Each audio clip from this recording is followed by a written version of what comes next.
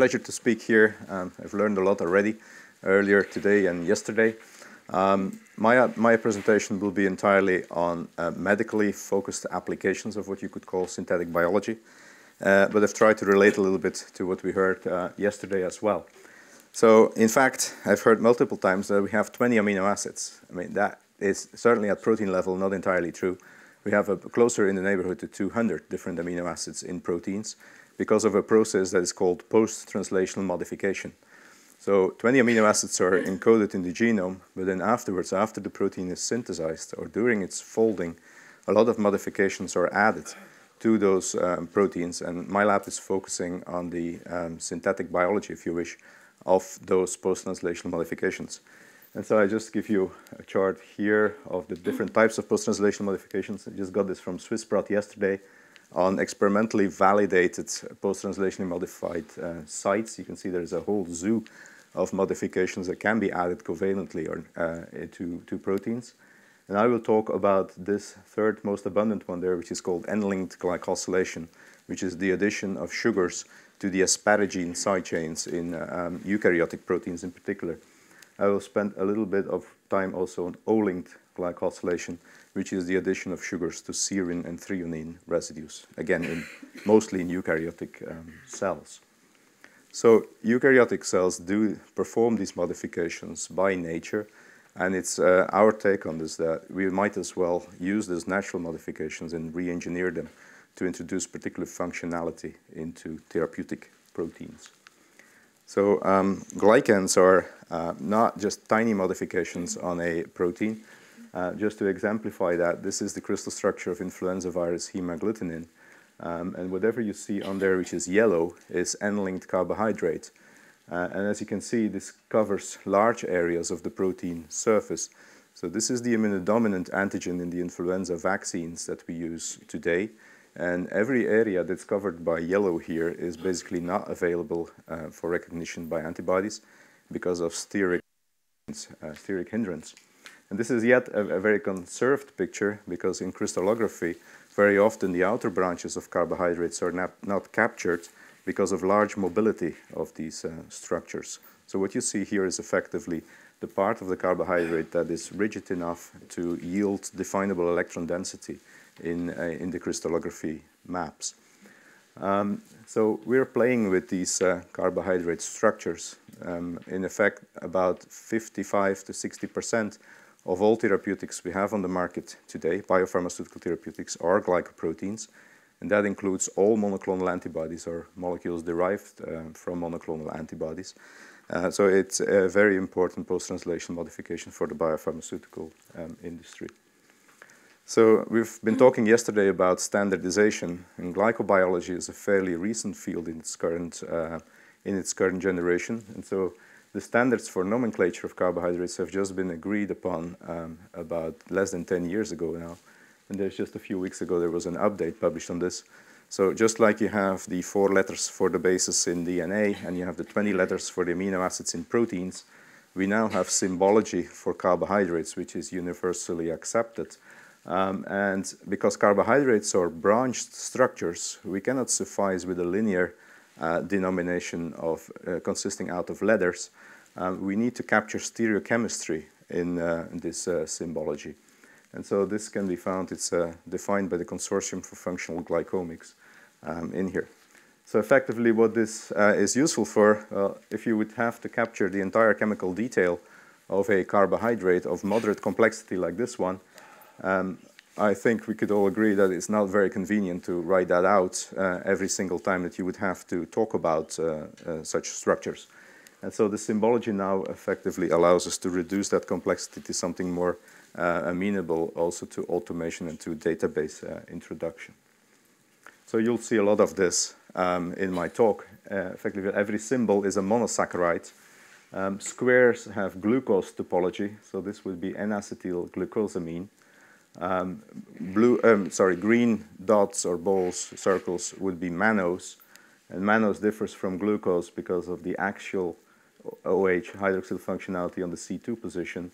And then this would be galactose, which differs from glucose because of an axial uh, hydroxyl functionality on the C4 position of the ring.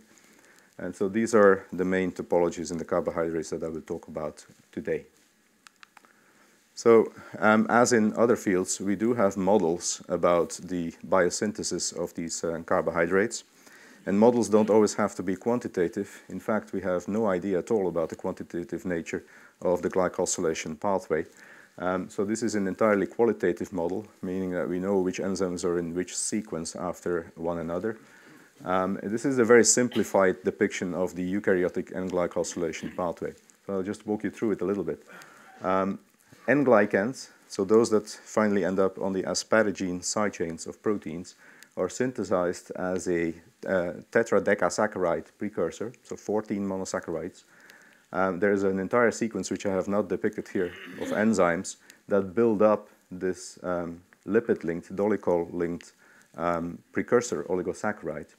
And then as a protein that is in eukaryotic cells destined for the plasma membrane or other intracellular membranes or for secretion outside of the cell, when su such proteins um, all contain signal peptides that's recognized by signal recognition particle in the cytoplasm until the ribosome SRP particle docks to the translocon, the Sec61 translocon in the, in the plasmic reticulum membrane, and then the protein translation resumes and the protein is kind of pumped inside the lumen of the endoplasmic reticulum. And at that stage, so prior to folding, these N-glycan precursors are added to the um, protein.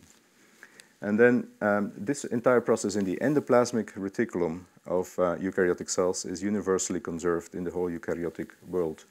And the reason for that, most likely, is that these glycans play a very important role in catalyzing the protein folding in the endoplasmic reticulum. So some of these carbohydrates, and I will not go in detail today, some of these carbohydrates recruit proteins like calnexin and calreticulin to the um, folding protein. And with calnexin and calreticulin, you get protein disulfide isomerases, which assist in um, um, resolving uh, disulfide bonds that have formed uh, inappropriately in, in the protein. And so after that has happened, so, um, so in other words, you can't touch this very much. If you remove glycans by simply mutating the sequence to which they tend to be attached, many, many proteins will simply not fold anymore in eukaryotic cells.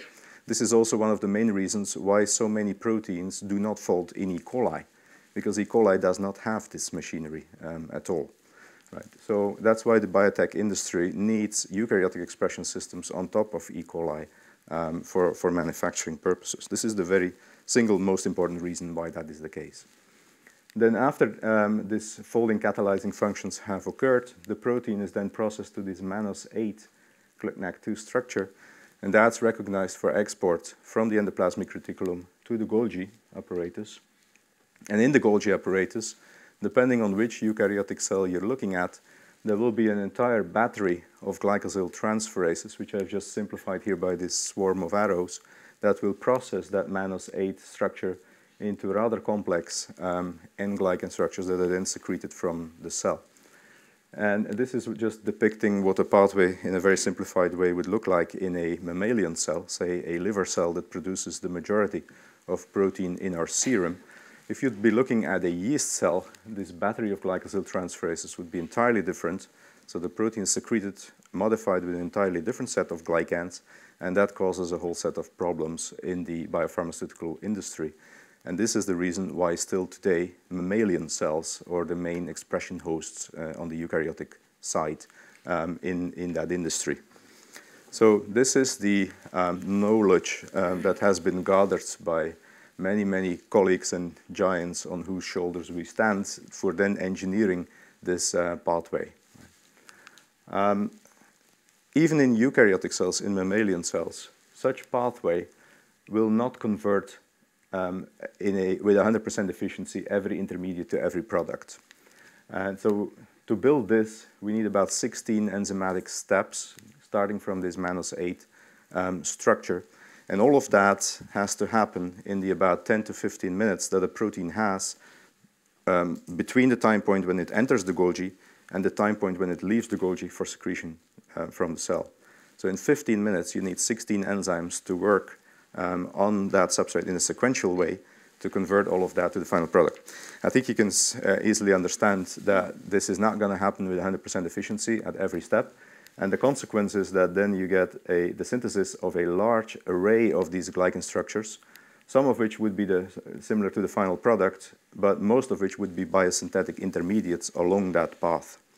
And this makes it very difficult to assign structure-function relations to glycoproteins, to glycoforms. And so a goal that we've set for ourselves more than 10 years ago is to design a set of eukaryotic expression systems, expression hosts, that would produce um, particular glycoforms, single structures, with a level of homogeneity that would be sufficient to be able to purify it from that uh, mixture.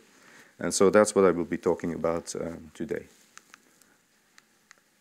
So as every synthetic biologist, one needs analytics, um, high throughput and highly reliable analytics to quantify what we are doing.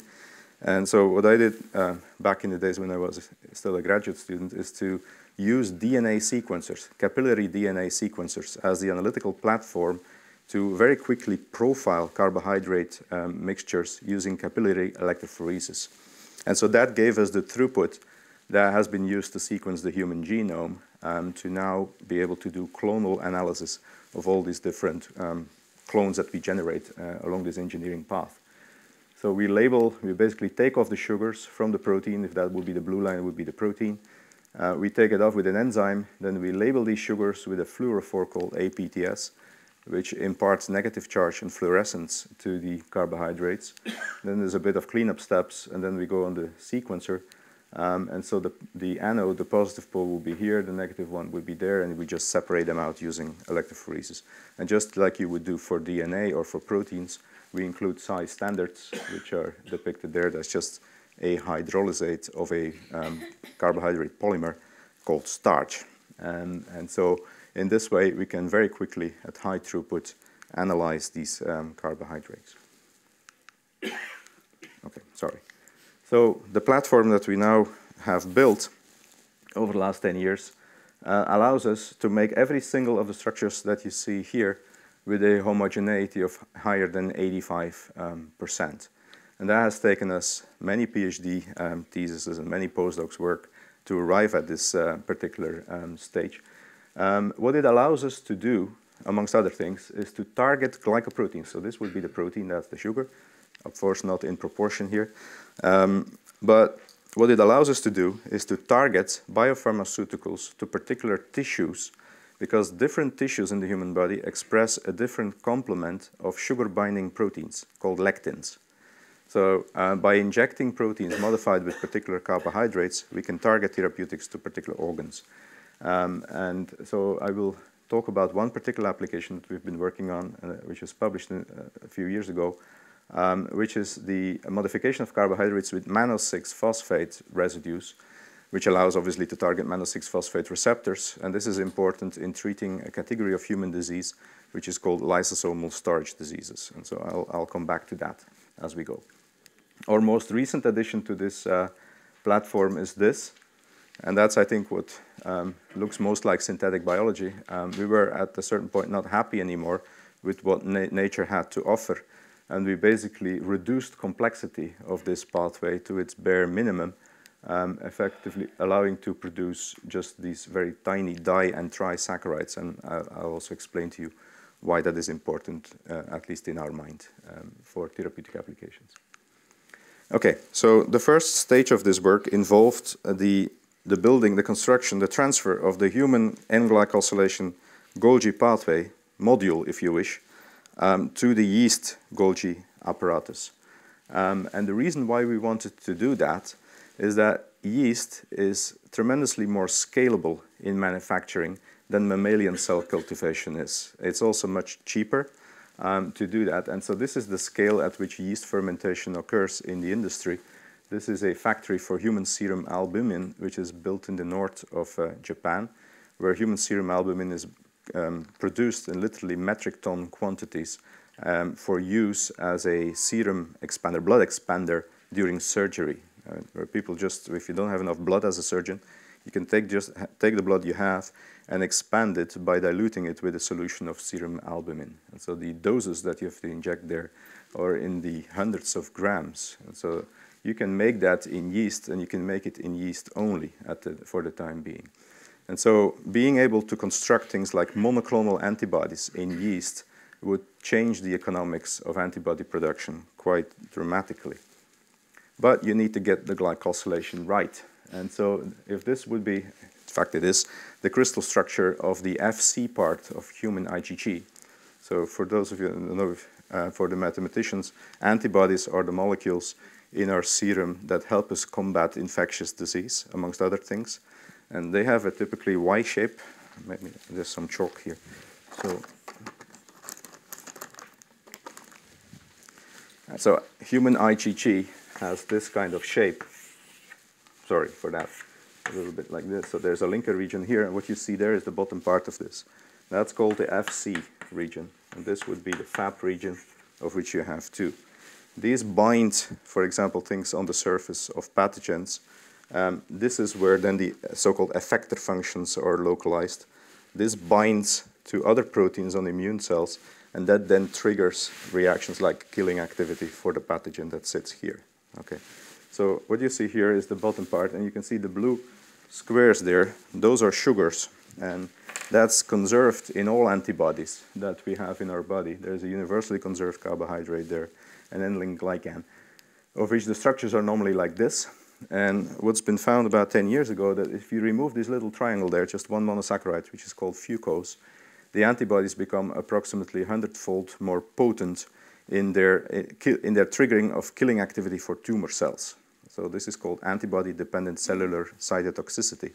So if you remove that, uh, you get much better anti-tumor antibodies. And so this is now being commercialized by companies like Roche, um, so their newest generation of anti-tumor antibodies are manufactured in mammalian cell lines that do not make such fucose uh, anymore.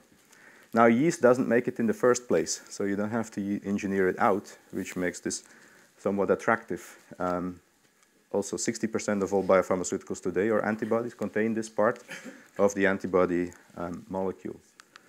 So what we've been working on is to, you could call it B-cellize um, the yeast. So you try and make a yeast which looks like a B cell in terms of glycosylation at least. And so this is what yeast normally does. You see, it takes MAN8, and then it converts this MAN8 into these hugely complicated so-called hypermanosylated structures. Whereas this is what you need on the antibody. So at first I couldn't be more different, but it all comes from the same precursor structure. So by knocking out the first steps of this pathway, and then like we do here, and then building in the human pathway in a very optimized way, you could hope of arriving at least at this uh, structure. Mind that this would also require you to have all the sugar nucleotides to build these monosaccharides on top of one another, which is also, uh, certainly when we started, was not obvious at all. Certainly for galactose, it was not at all clear that yeast made UDP galactose. In fact, it turned out it does. and we still don't know um, what it makes it for in nature um, here. So to do this, to build this pathway into yeast, we need to get all of these glycosyl transferases in the appropriate location in the Golgi apparatus at appropriate expression levels and activities um, for this pathway to work with high efficiency. And so we do that by targeting the catalytic domains of these glycosyl transferases to the Golgi by fusing them to transmembrane signals from yeast glycosyl transferases. So enzymes that by nature go to the um, Golgi apparatus uh, of yeast. And exactly how to make that fusion, that's part of the, um, part of the optimization work that needs to be done uh, when you do this um, engineering.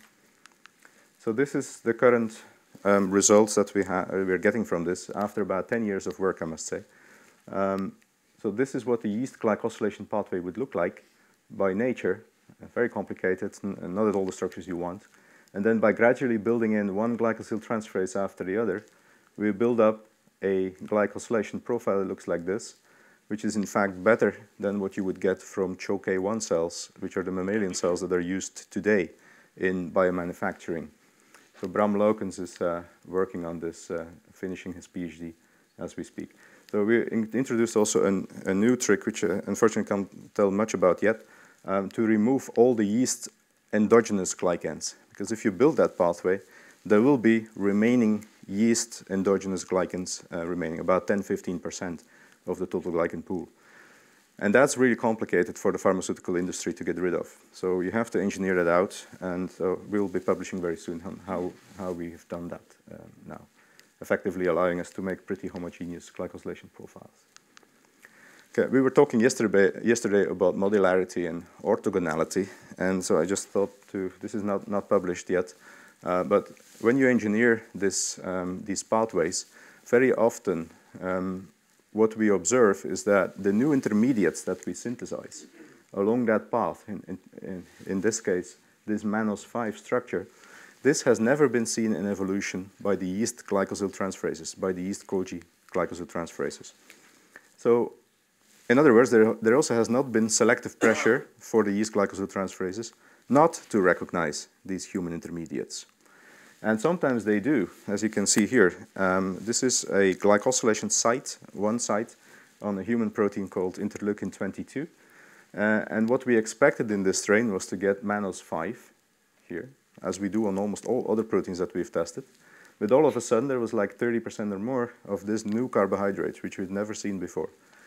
And so we did all the structural analysis, which is quite, quite a lot of work to do, and including an NMR analysis of this to find out that it was this MAN5 structure, but now with a tetrasaccharide on top of it, involving three, uh, sorry, four different glycosyl transferases to build this. So all of a sudden now you make an intermediate from the human pathway, which yeast has never seen before, and the yeast Golgi glycosyl transferases start building on top of that. They're just illustrating the kind of complexity you can get and the kind of non-orthogonality of these modules, um, these glycosylation modules. Fortunately, we could solve that problem um, now, because if you get this, this is likely to be very, very immunogenic. Um, it's an entirely new structure, um, and so you certainly wouldn't want um, to have that in a therapeutic preparation.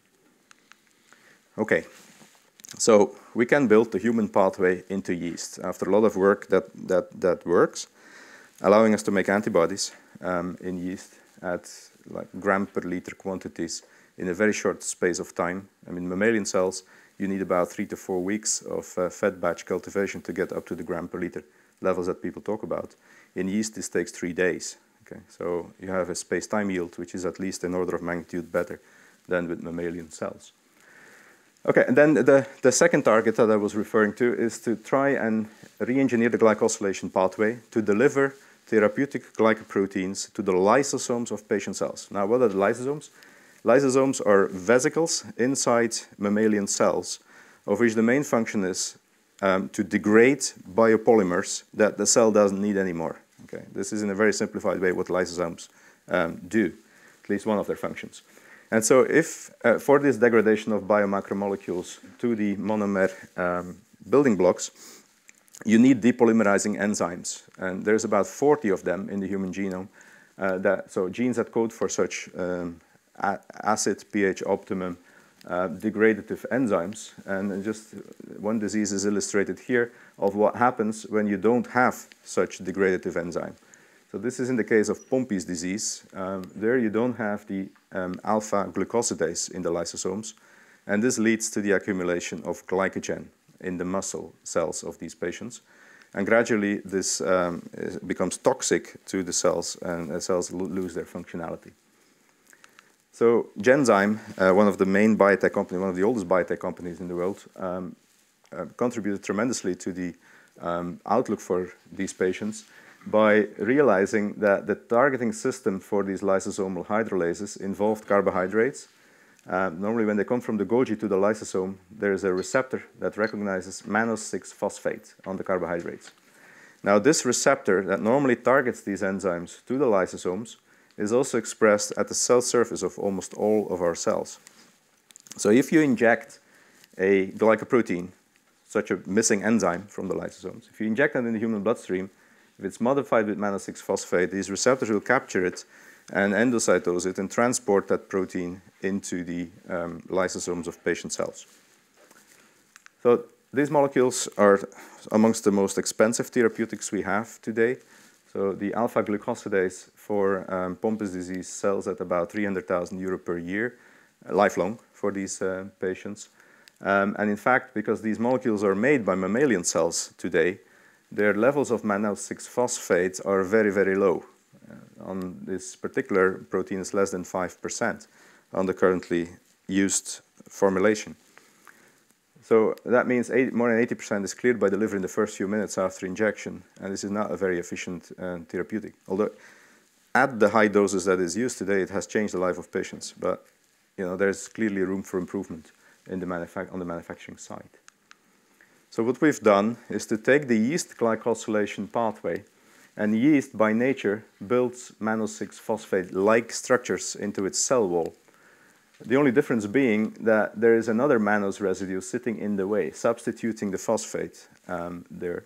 And that blocks these uh, sugars um, from recognizing the human mannose-6-phosphate receptor.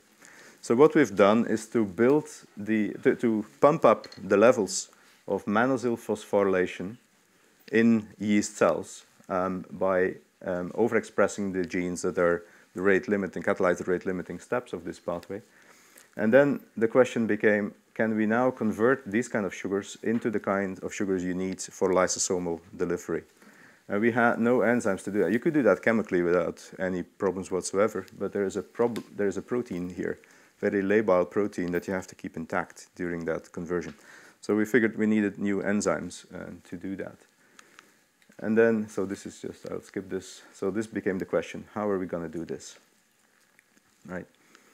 So as always, as biotechnologists, I think our first reflex is to go out in nature and think about where in nature there might have been um, evolutionary pressure, selective pressure for such enzymes to originate. And what we realized is that actually fungal cell walls, fungal cell walls are very, very abundant carbon sources in the biosphere. Um, so we, we thought there must be bacteria that have evolved to grow on fungal cell walls as their sole carbon source. Um, and in fact, just going through the biological literature, you can easily find a number of um, bacteria like that. One is this particular species, Cellulocimicrobium cellulans. Um, and so when you grow these bacteria on yeast cell walls as their only carbon source, uh, you get the induction of a whole array of um, carbohydrate hydrolytic enzymes including some enzymes, as we found, that can indeed catalyze these reactions that we were looking at. Um, so this has been done by these two um, um, very, very good scientists in, in the lab. Um, it was a project that took quite some time, as you can imagine. So um, this is just showing you that we indeed could find such enzymes. And so what you, I'll just walk you through this. So we have here are the carbohydrates that are made by this yeast cell that we've engineered to express very high levels of mannose-6-phosphate mannose. And those two peaks here would be structures that contain that. So when we take one of these enzymes um, that we found from this bacterium, uh, which we have um, coined with this name here, um, when you treat that, they all of a sudden in capillary electrophoresis move faster, which means that either they're smaller or they have more charge. Right? And then when we treat those with calf intestinal phosphatase, an enzyme that removes end-standing phosphates, um, now they run slower again showing that indeed these phosphates are now terminal and you can remove them. And we found a second enzyme that then also can remove these mannoses there, and you also need to get rid of those for these ligands to be recognized by the mannose-6-phosphate receptor. So this organism effectively makes two of these enzymes. We also crystallized one of them, this one here, to explain why it worked, and it's all in the paper if you're interested in that. So with two E. coli produced enzymes, we could basically convert the yeast produced uh, mannose-6-phosphate containing carbohydrate into what we really needed for therapeutic delivery. And so this was the effect then um, if we exposed patient cells. So we took cells from Pompe's disease patients, fibroblasts in this case, um, because that's the only cells you can easily get from patients. Um, and then we exposed these cells to increasing concentrations of our recombinant enzymes, and we looked at how much enzyme got into the cells. Um, the current therapeutic drug um, had this behavior here. And then our yeast-made drugs, um, we needed about 15 times less of that enzyme to reach similar levels of activity intracellularly. And this is just because we have um, about 15 times more mannose-6-phosphate on these, uh, on these drugs. This also translated in a mouse model and unpublished yet in a non-human primate model in increased clearance of glycogen from the muscles of, uh, um, of these experimental uh, animals, and it's now moving into phase one slash two clinical trials because this is a genetic disease. You can actually do phase one and phase two at the same time because a, um, a precursor drug, I mean the current drug, is the protein part is exactly the same. Um, so there's less issues with suspected toxicity of these kind of uh, products. So this is being commercialized in this company called Oxirain. And so the, the R&D division is in, in Ghent. Okay, how much more time do I have right now? Um, 13 minutes. Okay, perfect. So um, everything I've said so far is basically taking existing pathways or more or less existing pathways from um, other organisms and putting them into another one, which in, in our case was yeast. Um, and the second story involved the discovery of new enzymes that we needed, um, which were not present in the human pathway, but which we needed to convert the, the yeast pathway into the human pathway. So the next part, um, and this is something that started about five, six years ago in the lab, is um, when talking to biopharmaceutical industry people, very often um, they, they'll tell you that they have to live with carbohydrates on their molecules because that's, that happens to be how nature modifies these um, proteins. And then you have to engineer them to such an extent that they don't harm your function. But if you actually could get rid of carbohydrates altogether in eukaryotic cells for a large number of applications, that's what they would prefer. But they can't because it introduces so much complexity to the manufacturing processes. Um, and it introduces heterogeneity in the pharmacodynamic behavior of these uh, molecules.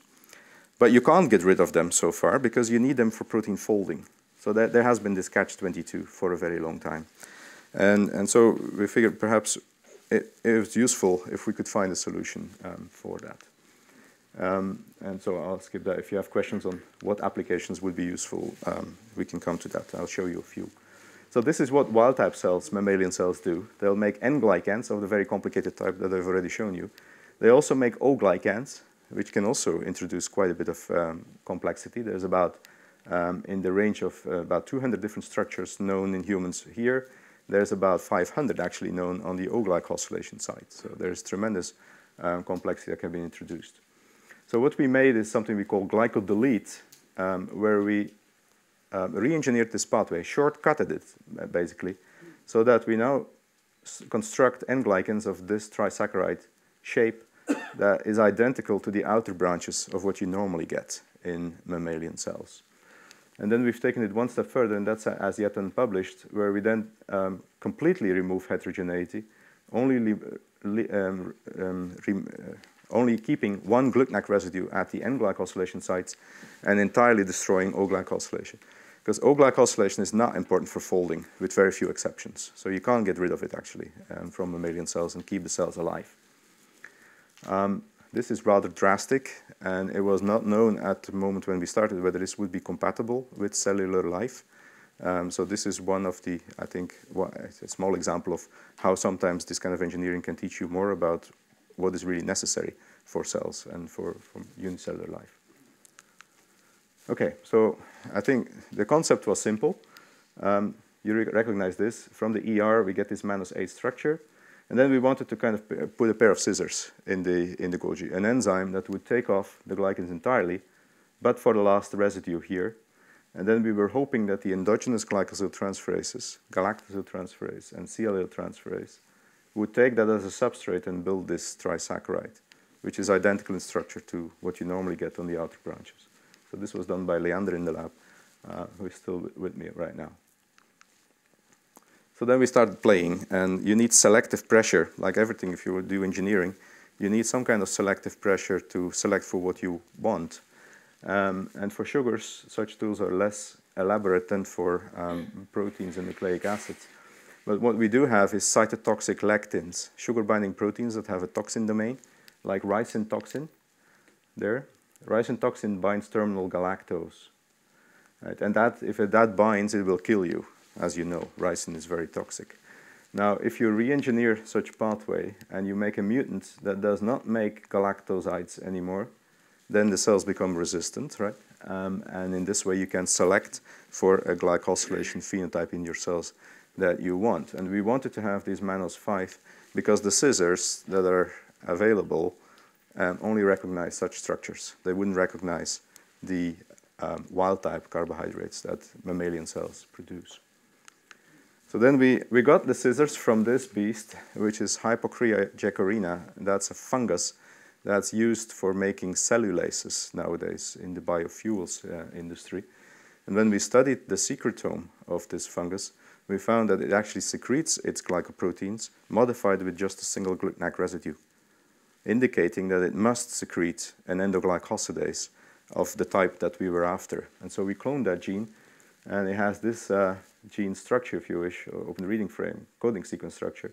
So it has the N-terminal pre-pro sequence for secretion, it has a catalytic core, and it has a C-terminal pro sequence, a peptide that as long as this protein is in the endoplasmic reticulum, folds back onto the catalytic core. We have the crystal structure in the meantime. Folds back on the catalytic core and inhibits the enzyme, basically protecting the glycosylation pathway of these eukaryotic cells from this degradative um, activity. And this enzyme, this propeptide, only gets removed in the trans-Golgi apparatus, then fully activating the enzyme um, at the Golgi, which means after the stage where glycans are important in the cell for folding catalysis, which is in the ER. Right? So it kind of activates in the trans-Golgi and then removes the carbohydrates when they're not needed anymore for folding catalysis. So again, we used the lectin trick to select for the cells we wanted. In this case, we used concanavalin A, which binds terminal monocytes. Um, and there again, when we remove these terminal monocytes with this endo-T, as we call it, this enzyme, pair of scissors, uh, we get the GlcNAc, we don't get any terminal mannose anymore. And that makes the cells resistant against concanavalin A selection. So we analyze that using this particular protein, which is an important pharmaceutical, human granulocyte macrophage colony stimulating factor, GM-CSF. Um, and so it has two N-glycosylation sites, which you can separate from one another using cleavage with trypsin protease.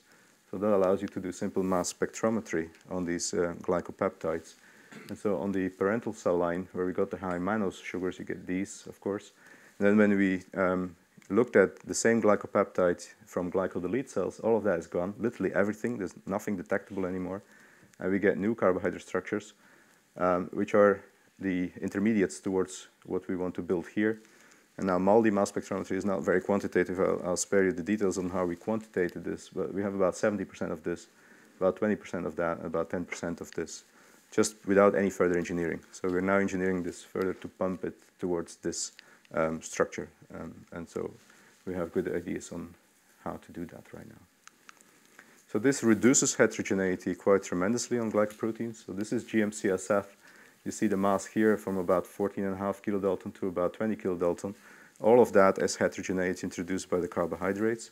So it took me half, half a day to actually get any spectrum from that because there's so many different forms, sure, so many different forms here that it all tends to go into the baseline.